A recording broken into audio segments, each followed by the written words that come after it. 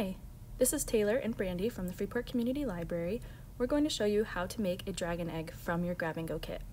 To start, crumple your tinfoil into an egg shape. Then, flatten your clay so that you can layer it on top of the tinfoil. You'll be squishing it into the tinfoil completely to cover it. You want to use all the clay so that the decorations will stick. If you use multiple pieces to cover your egg, make sure to squish the seams together.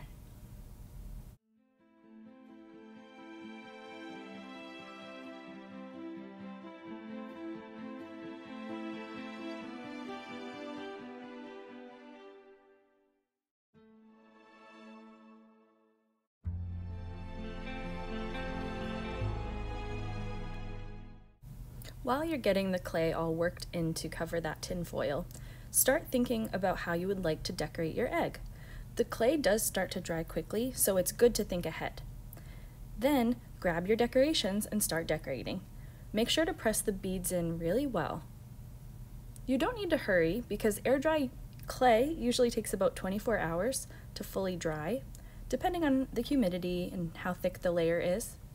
If you feel like the surface is getting too dry, you can add water to it.